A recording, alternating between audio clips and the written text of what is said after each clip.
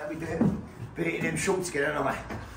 There- There's just so much, get a little bit of work crammed in, direct information, easy for me as well with all this time consuming film, but this one's going to be an actual video you can watch. So what we're doing today, we're doing box sash piers. Now, what are box sash piers? We're having original timber box sash windows coming in. Now, what you have to do with box sash windows internally is leave the pier 100 mil back. That's for the weights of the windows. For those who don't know, the probably those who go, oh no. Those who don't know, the weights obviously operate the window. So when you lift up, the weights drop down, and when you pull down, the weights go up. Blah blah. So it's doing gravity. So what we've got here, this was a whole new knock through. Wasn't going to do it. The client was happy with existing windows, but they weren't matching the lines of the new windows below. Because it big windows put in. So he's gone with it. So we've put a new steel in, complete. Take away this, the um, add the structures to the gable, give us three new openings, wide openings. So I'm going to copy piers from down below. So I'm going to show you what's going to go on. So we're going to go header, closure. We're going to do.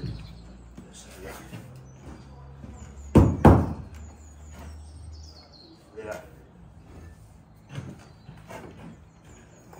And there. So that's our bond. Can you see that? Header, closure, header, header, closure, header, right? So almost doing a broken bond, close between very comparison Flemish and English. We call this English bond. Right, but inside I've got a nick back, 100 mil. So what we'll have to do is put a header there, there, and the same here. Good. So basically when the window goes in, it's got a, a void for the weights to go in inside. So that's going to be up here. So never ever do you have a closure up the reveal. But that's what we've got here because if I change the closure to the centre, we're not straight joint outside. As it stands in a minute, the brick going over the top will bring us back to quarter bond. Okay? There. There. And we'll put us a nice header in between with two bats on the end. And that's what we're looking for. So, the clothes will be okay because structurally, externally, it's bonded, and this is doing nothing inside. It's not taking no reveal, it's just the, the weight is free standing in between. So we're going to be happy to do the in there. So we'll do a little video of me building it. The boy's doing his first one over the side as well, and uh, see how we get on.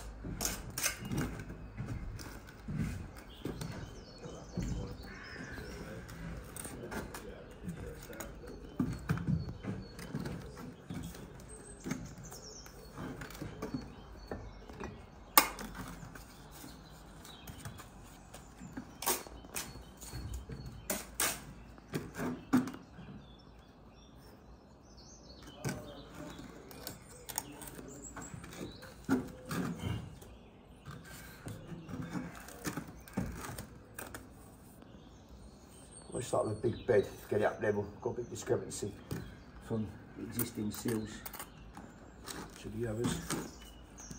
I'm going to be clever, I'm going to put me that in there. Yep. What we do, we work the closures.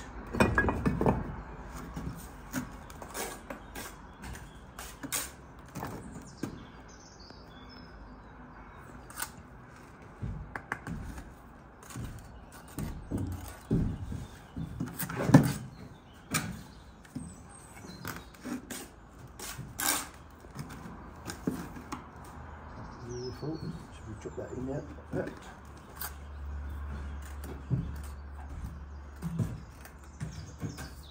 Let's get them joints filled up.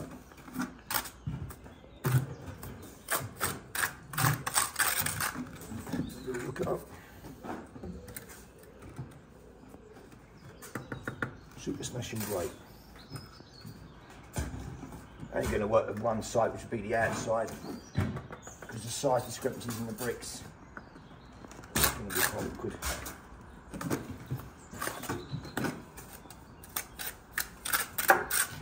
Right, so now we're going to go over the top quickly. Pretty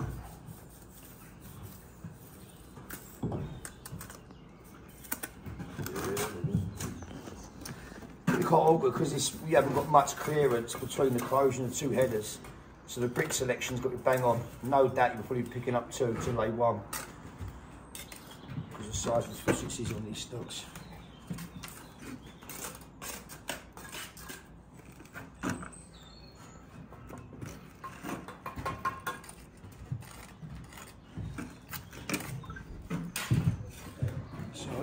Should go now, nice and tight.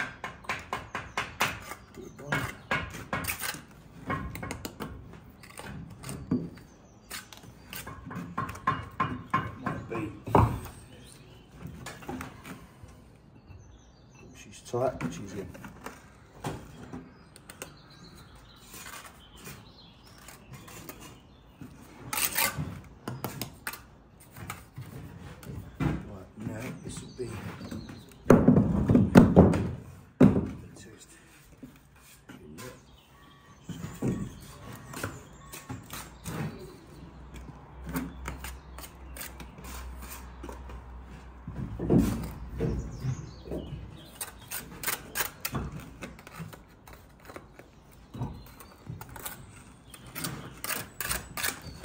Around the front angle, Brett, but just stand one place, mate. So the viewers can see the rabbit.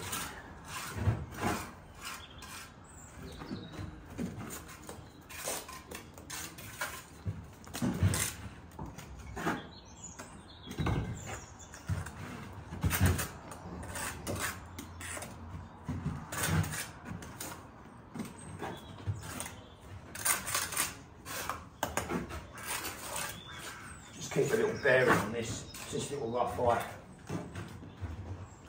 Pinch a bit where you can.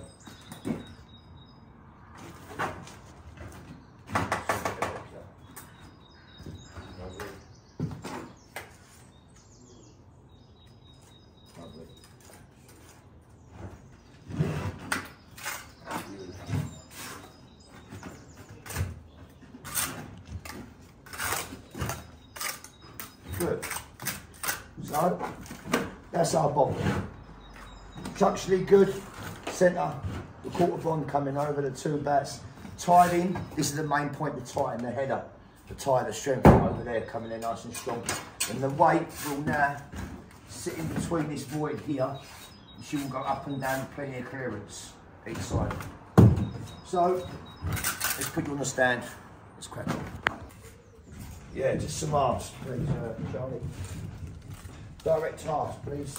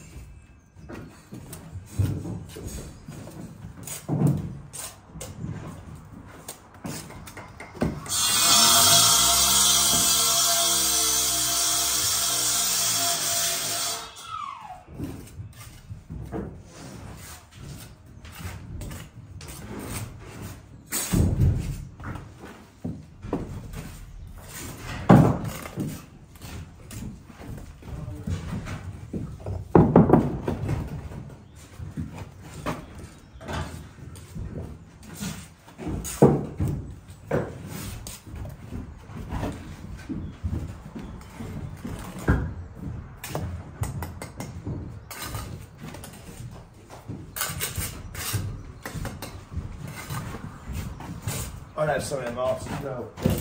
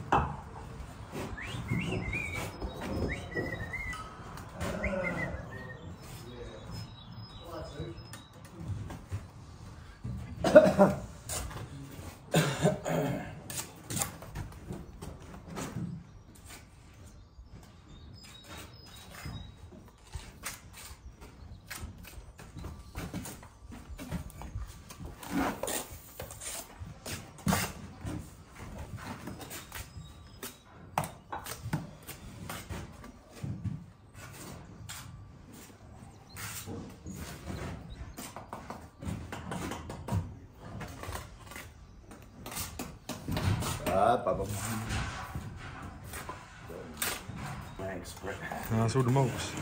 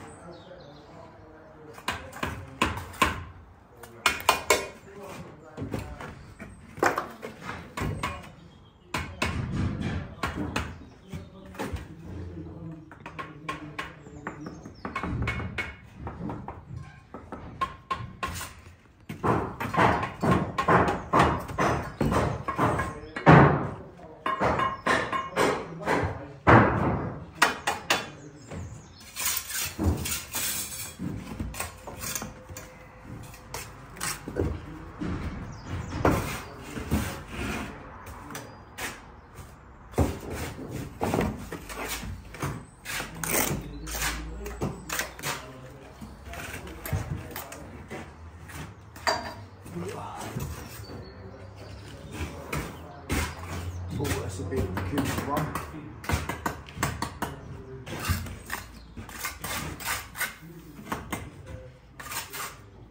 Here's a bit, little bit peculiar.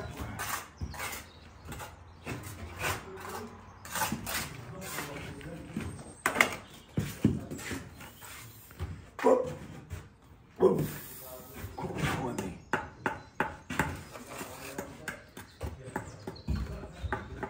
A few short ones there. Picked up a hand of short ones. Picked up a short hand. Haven't got a bevel yet. Just got the scaffold changed. Good.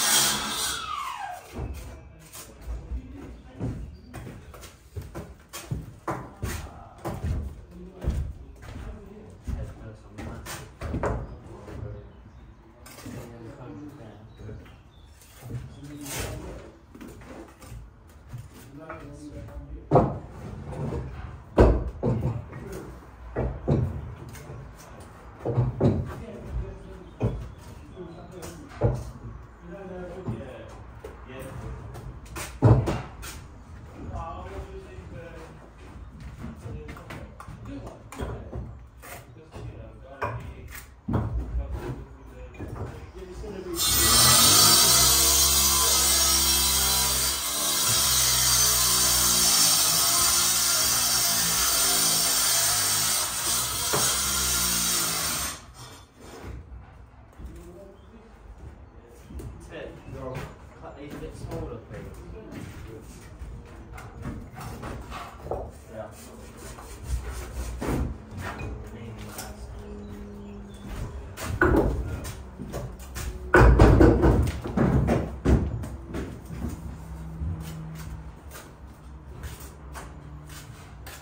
she's done, gentlemen.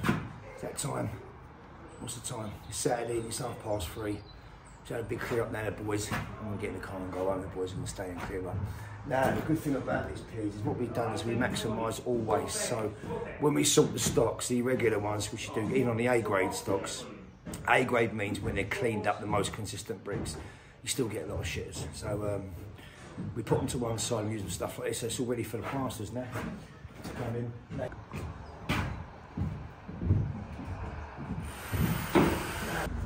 Oh man, looking filthy. Excavated downstairs for traditional timber flooring. And I've got myself involved in this. But listen, the only way to get out of there is uh, get wet, get muddy, hard work, get us out of there. And that's what we've been doing. So another couple of days out there. Anyway, box sash pier's done. There we go. Right, you noticed the other day or during the videos, what we've done is we used the, um, although we've got A grade stocks coming in, uh, A grades for some of who don't know, are the most consistent, normally get a good one side. Um, but even still, the wastage, we had a lot of uh, shitters in there. So we sort them. We put them out and then we use the shitters for other stuff, so to minimise the wastage. So we use the shitters in here. And it helped us out. We just went up. It was hard to plumb them up both sides because we had so many bevels on the end of the brick. So what I normally do in these box sash piers is get it up and just swipe two lines down, you know, and, and that's it. it, it the uh, job's are good as they say. Um, middle wastage, effectively up and done. So look, you've got your 110 mil where the weights will go down the box sash window, pulling up. So it inverts like this, as I explained before. She's all ready to go. All waiting now for the renderers to come in and the plasterers to get that done. Now I just want to show you something over here. This is the one I had done originally. Come closer. Can you see the angle I've put on there? Now that's a learning curve there because the original Victorian box sashes had the shutters built into the frame. And you need to create create angle for the shuttering to built into the frame. So if you ever expose these uh, in another house and you see you wonder why they're coined off. That's because the shutters went onto the actual existing frames. As I say some shutters in a minute and I'll show you an example. Um, if you don't angle them, then the shutters will go externally and they go past the frame and be a bit more bulky, you know. So uh, just another little thing for you to think about. But generally,